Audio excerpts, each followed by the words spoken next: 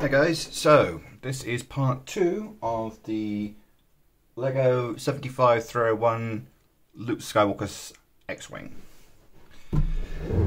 Complete with other random characters. Well, I suppose random characters, but uh, yeah, you do also get Princess Leia, um, that old general who no, no one can remember the name, and well, we've already done R2, but uh, very Doc Brown, this guy. I'll just put him together and uh, Carrie Fisher never quite lived down that hair, did she? At least this character is not anatomically correct, dear lord. There are models which are, well, I'm pretty sure Carrie Fisher would say, you don't know what my, uh... anyway.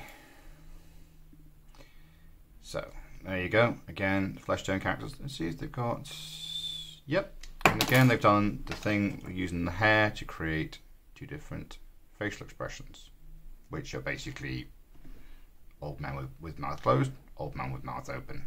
So, a bit pointless really, but I suppose they've just got to go with the gimmick. So, just to show again, here is part one, and we're now going to be building the rear module for it, I think. So, put him here and let's get started. Yes, I must admit I am a little bit tempted to disassemble some of the LEGO models I've already done and reassemble them on camera, which I suppose does pass the time, but maybe a little disingenuous. Because I've got this, I've got an A-Wing, a TIE Fighter, and that's it so far. I'm not sure what else they've made. I'm going to have to have a look at some point. There's probably a B-wing around somewhere, though God knows how you'd put it down somewhere. And this is the point when, of course, I obligatory grumble at my teenage self for selling my action fleet um, models, which I'm not going to forgive the little shit for. But, uh, anyway, Okay, so that's ah then it goes under there. That's right. There we go. Yeah, I think I sold them on the car boot, so I was buy computer parts, which uh, just I had all the set. I had most of the sets. I had a lot of the set. I had a sufficient number of sets. I'll put it that way. Anyway. I have started, I started to collect them again, but uh, it feels a bit because I'm not the kind of collector that, that saves the box. Well, but I'm not the kind of collector that saves the boxes. I hoard boxes, but not necessarily for this kind of thing. But uh, so I suppose I'm going with the Lego instead because Lego Star Wars ones are sufficiently popular that I could probably work out what I can disassemble and reassemble for them. Um, I have had a look at Bricklink, and there are some models I would love to have a go at. I kind of like the idea of the someone's done a first generation Lego Walkman, which oh, that's a nice looking piece of equipment. That uh, Sony really knocked that out of the park with the first one. The original Walkman is a beautiful piece of kit, which um, yeah, their 80s stuff was fantastic. I mean, the 90s stuff was good as well, but it just feels like people just don't make kit like that anymore. You know, aluminium casing, not plastic. It was lovely. It really was. I mean, I suppose the immediate thing I was thinking of, which is maybe not quite the right reference, is American Psycho, where he has a little, almost like a shrine to the damn thing because it's uh, it's his status symbol, which seems a little absurd nowadays. Because but having even now having a first generation Walkman is quite a thing to have. I mean, I'd love to have one in good working order, though. The thing I genuinely wish I had was, I mean, I, uh, let's see, was that one or two of those? Two of those. Sprax again the better. Of my knolling caused me to drop it. That's what I'm looking for. What I'd love to have would be the Flamingo, which was their little portable record player, but even in broken condition, that's hundreds of pounds, and it just isn't. Yeah, Techmoan had done things on it before, and he said he had one that he rebuilt for a video. So I suppose he had reason to purchase one because it meant that he was essentially it was his his job in a way. But even he said it's not worth it. People wanted to see the, him build a flamingo, so he built him uh, restore a flamingo, so he restored one. But he said it ain't worth it for what what you got. I just wish they'd re-release the damn thing. I mean, no one does the parts anymore. That's the problem. Even if even if Sony do have the do have the uh, designs.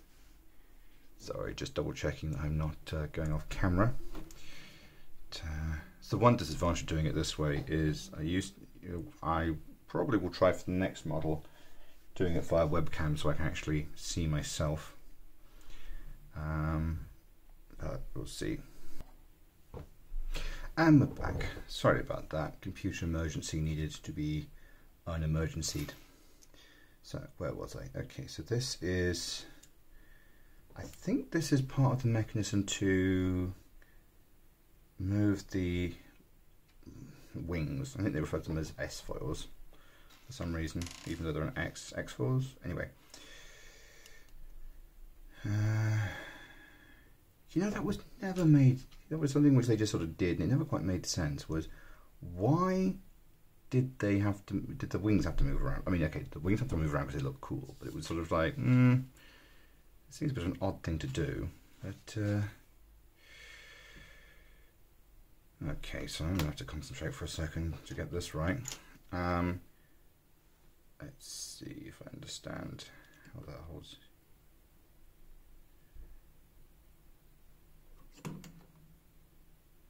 Ah, right. Yeah, I think I understand that now. So that goes there and that goes there and then there's like a scissoring motion, I think. So,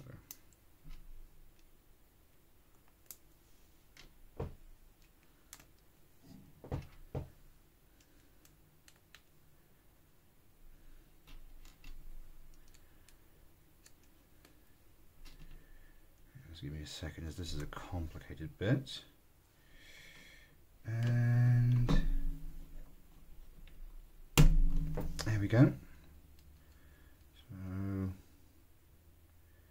yeah, that's going to be part of the there we go. So you, I think the intention is that there's going to be a button which allows you to fan out the wings, basically, or S-foils, what the hell they call them.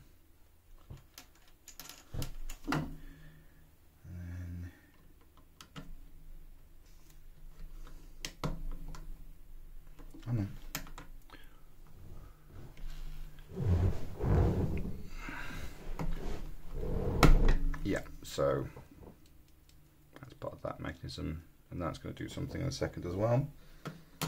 And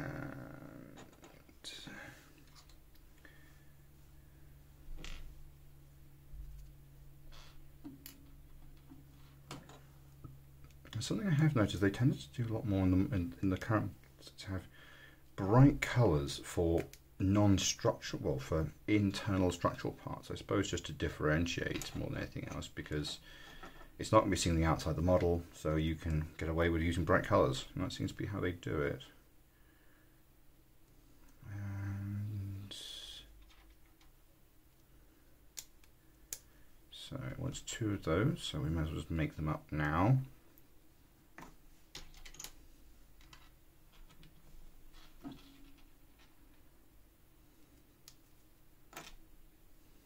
Put those together.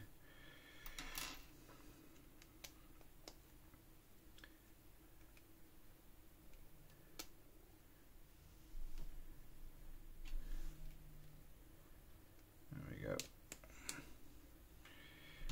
And put those in. There we go. Those are going to be the other parts at the risk of being uh, Okay, so I see. So you yeah, these are going to be the, the wing mountings, which are going to be in parallel with each other. So yeah.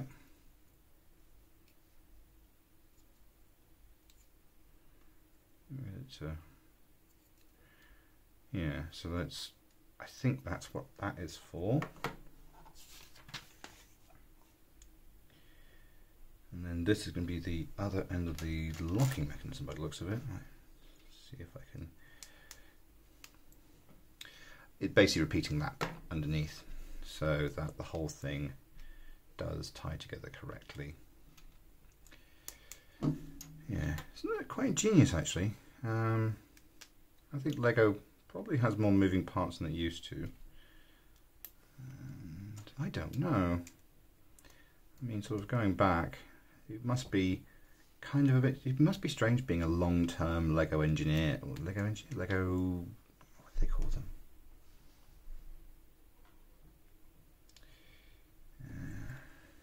Uh, master builders. So it must be weird being a long-term Lego master builder and just seeing all these changes over the years, seeing how these things have altered. Right, so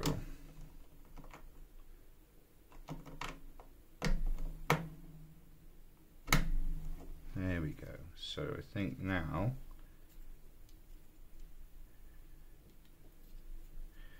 I don't know if there's going to be a way to lock them together. I'm assuming there will be because it's still it, you don't want to be you don't want to be wonky. Uh, okay, so there's your press plate. He wants me to put on 10 and 11. So I think I've got that. I'll try and get them as straight as possible without getting my head in front of the camera.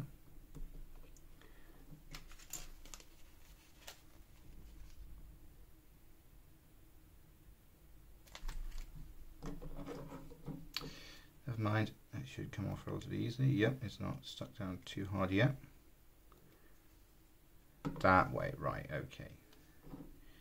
I know it doesn't matter that much, but it but it's uh, we get it at least reasonably straight and reasonably in the right area. I mean, this is me we're talking about, and honestly, to do this properly, you probably need tweezers, but uh, I ain't quite that proud. There we go. Like I said, it'll do. If I put this way. If I bought a model that was this ropey with it, and I'd be annoyed, but uh, if I'm doing it myself, yeah.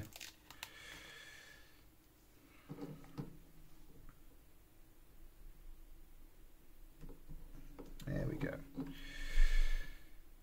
And that way up, and he slides in like that.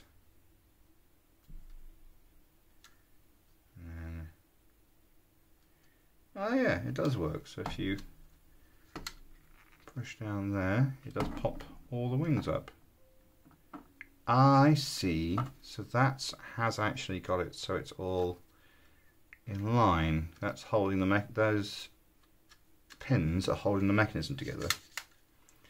Okay. So next bit.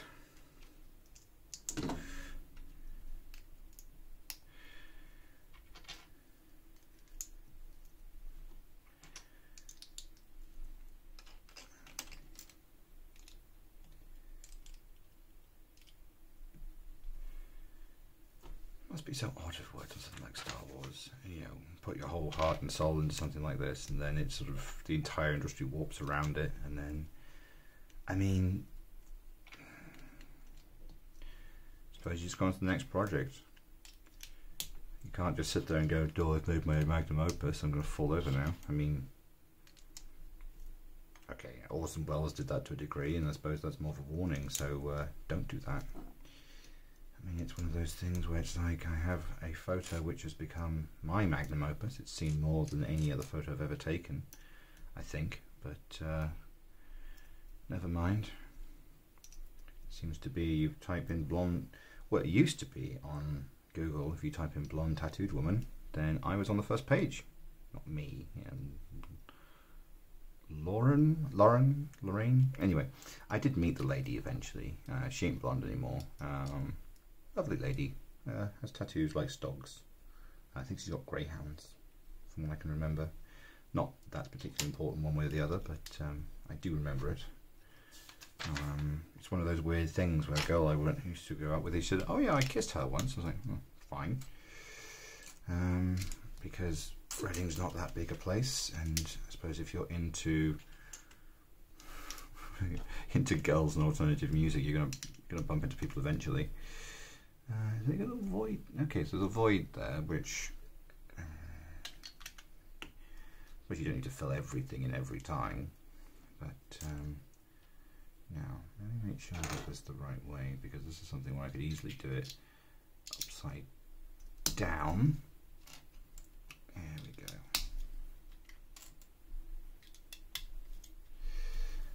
Uh, little do. So, ah, let's.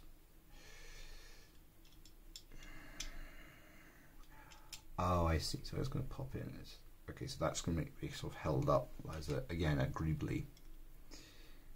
And there we go. And so he pops again using. Ah, sorry, that is to hold all that together. There you go. So that's holding the wing mechanism in place. And build the structure around it by looks of it. Hmm, uh, oh, okay. I would have thought those would be for the lasers, but apparently not. But, um, but that would have been a little bit preemptive at this point. So that's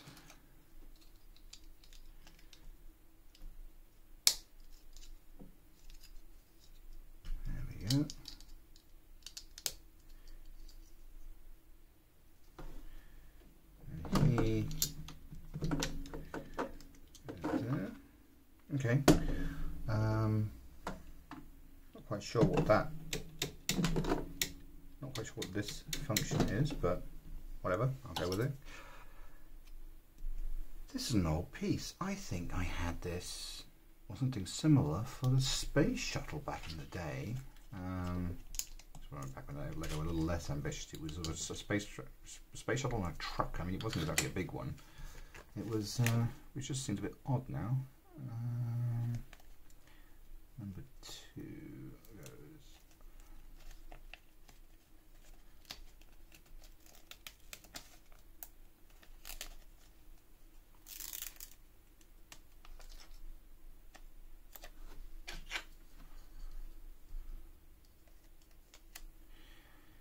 An odd thing with just remember Star Wars is the fact that their writing system they have their own separate writing system, which of course, you know, a society like that wouldn't be using English, but uh, they decided on it after the second, um, during the second film. So they had to go back and optically change a whole bunch of stuff in the first one, where you can see, you know, dashboards and things. But it, they get around it by making it symbolic.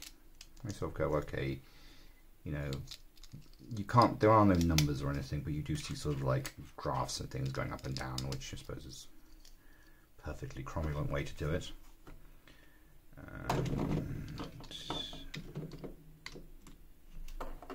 there we go. Again not sure.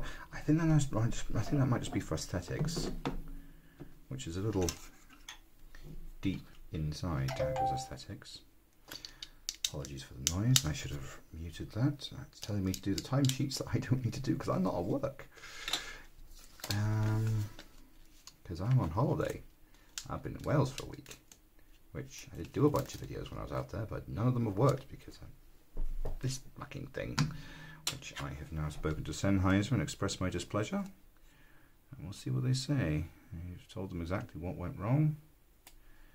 Um, but now we're using what's it called? I think this is, I think I'm using Open Camera, uh, which is the app that I'm using on my phone, and it seems to be working relatively well. Gives, a, gives a lot more control than the standard than the standard camera, which a lot of the time I don't care, but for video has actually been really useful. Um, It's even got some digital stabilization built in, which is nice.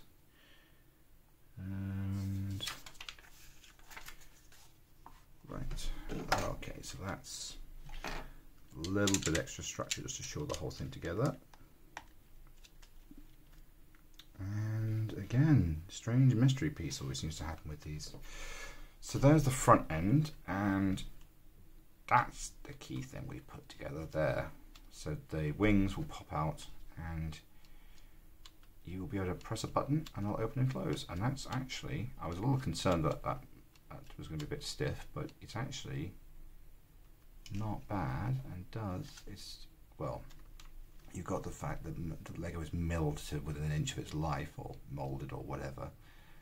And so, I mean, hell, even the little mold lines you can see are practically not there.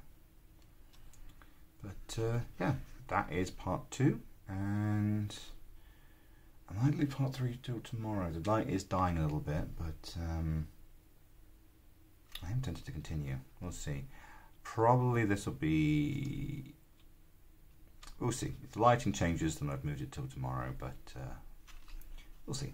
Anyway, thanks again for watching, guys, and uh, I'll see you in the next one.